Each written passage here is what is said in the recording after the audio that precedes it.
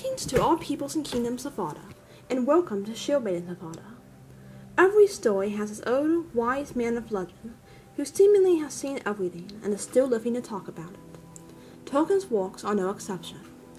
Yet Círdan the Shipwright is not simply the oldest living being to walk Middle-earth. There was so much more to this elf of the sea, this beacon of light amidst every storm, this gatekeeper to the heavenly realm of Valinor. Today, on Shield Maidens of Arda, we're going to explore Círdan's story.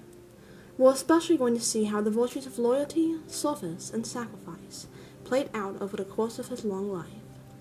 So sit back and let this Shield Maiden be your guide into the wonderful world of Middle-earth.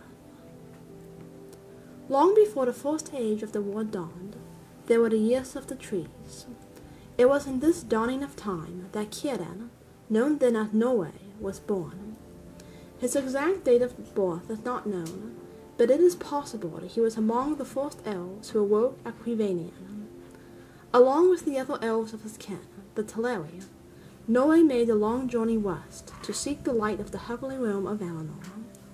Yet when his leader, Elwë, disappeared after having been enchanted by, by the Maia Melian, Norwë demonstrated astonishing loyalty and determination by diligently searching for Elwë even when the Valar came to escort the elves across the sea to the lands of Valinor, where they might see and live among the beauty of the two trees and the light. Norwë refused to give up his search.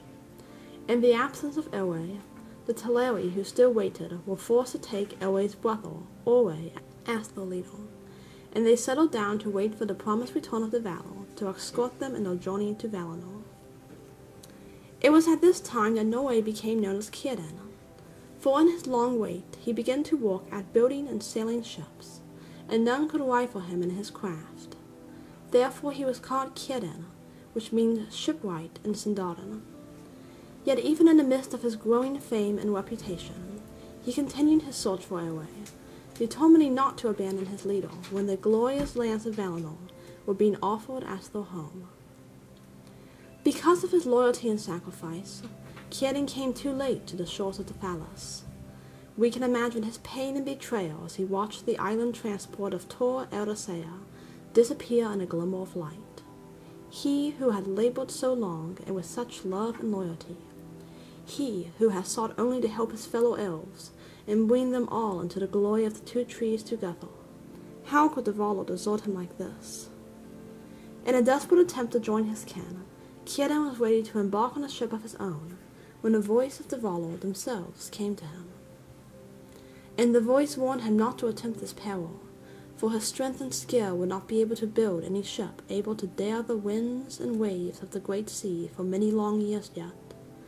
Abide now that time, for when it comes then will your work be of utmost worth, and it will be remembered in song for many ages after. I obey, Círdan answered, and then it seemed to him that he saw, in a vision maybe, a shape like a white boat, shining above him. I sailed west through the air, and as it dwindled in the distance, it looked like a star of so great a brilliance that it cast a shadow of Círdan upon the strand where he stood. And so Círdan began his life as Lord of the Falas. His dwelling was on the shores of Beleriand. His rule was over the people who had chosen to stay, and his craft was in shipbuilding. There also he built the havens of the Falas, two great walled elven cities. There he and his people, Falathrim, found gems and sent them to King Thingol of Doriath. During the wars of the First Age, the Falas was sieged. Círdan sent his people to assist the elven leaders in several of the large battles that took place in those times. Círdan also became great friends with Finrod Felagund, and he continued showing loyalty and service to Thingol. Yet Círdan did not resolve his help only with those to whom he swore official allegiance. The havens were open to any who needed shelter, and his words of wisdom were granted to anyone who needed advice. He came to the help of Fingon during the wars of the Noldor. His havens offered shelter and refuge for the fugitives of the Nineth and Nodiad. Yet even Círdan's kingdom was not immune to the forces of evil, and in 473 of the First Age, the Falas was overrun and destroyed by Morgoth's forces and nearly all the elves killed. Círdan himself managed to escape, and with him he brought the young prince of the Noldor, Gil-galad. In this time of such intense struggle and hardship, Círdan's sacrifices and willingness to serve those who needed him continued to shine through. At the request of Turgon, king of Gondolin, Ciedan sent ships to Valinor to seek the aid of the Valar. Ulmo, the Valar of the Sea, requested of him a service, to warn the proud city of Nargothrond of their doom, unless they cast down their gates and their bridge. Neither of these ventures came to fruition.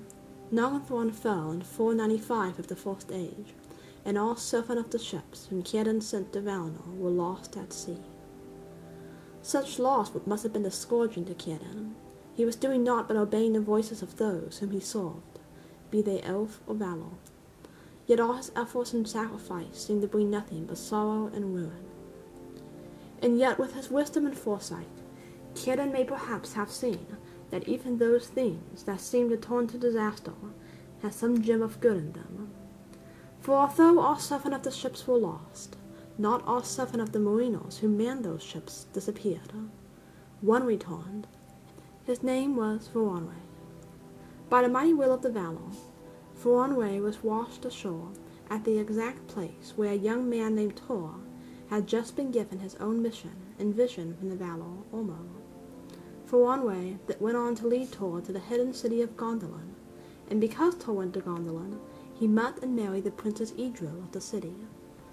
And from that marriage came the birth of son, the greatest mariner and one of the most important figures in the history of Middle-earth, Eärendil.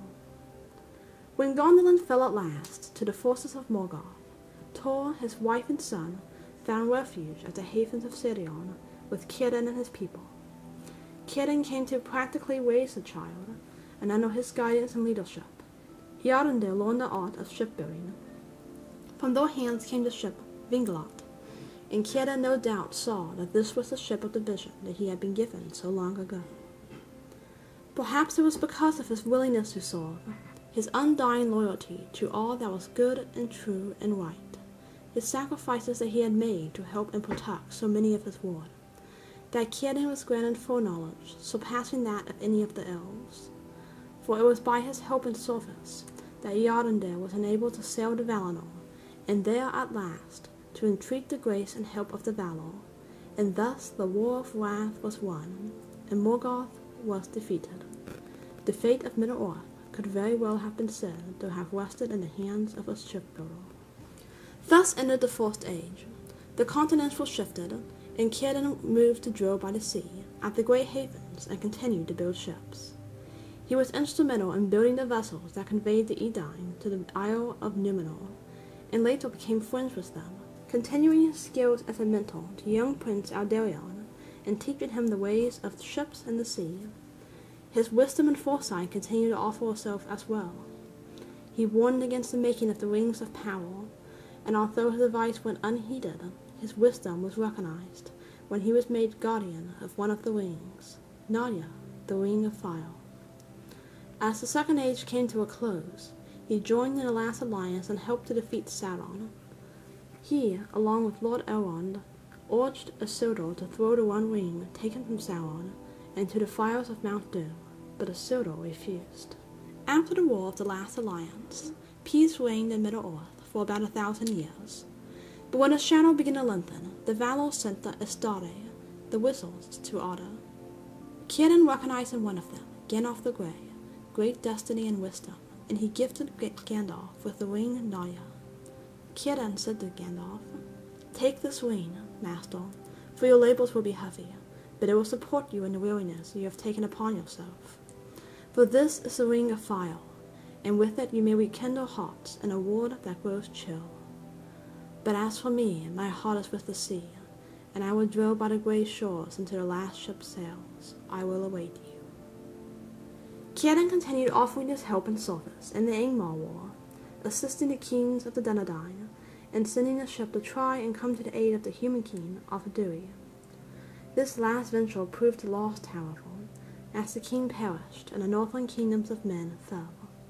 Círdan took control of one of the powerful scene stones, the Palantiri, left behind in the Tower of Elostirion. In 3018 of the Third Age, Círdan sent an elf of the Havens, Galdor, to Rivendell for the Council of Elrond. His deeds during the war itself are not explicitly known, but no doubt he used his skills of wisdom, foresight, as well as the location of his realm, to comfort and help all those he could during this time of utmost importance and change in Middle-earth. When at last the war was ended and the ring-bearers arrived at the Great Haven to take ship into the west, Círdan himself came down to greet them. As they came to the gates, Círdan the shipwright came forth to greet them.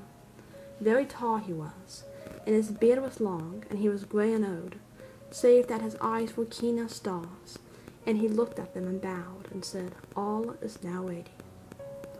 And all indeed was now ready. Círdan had fulfilled that which he had been left behind on Middle-earth to, to do. He had brought comfort to many, he had served with undying loyalty those whom he had, was given to serve. He had offered his voice of wisdom and his gift of foresight to those who needed such. He had sacrificed his own yearnings and desires to assure the continual existence and survival of others. And now at last his days of service were ended. When at last that time came, Círdan took the last ship into the west, to the undying lands, to live forever beneath the trees of light that his heart had longed to see for so long. He was over ten thousand years old, the oldest living elf on Middle-earth. He had served well, and he, of all elves of Arda, would enjoy his eternal reward. Thank you for joining with me today the Word of Arda. A very special shout out to our new Teleri Sea Elves member, Mr. Jones. Welcome, Mr. Jones, and thank you for joining us. Please like this video, subscribe to Shield Maidens, and join us again so we can explore more of Middle-earth together. Namárië.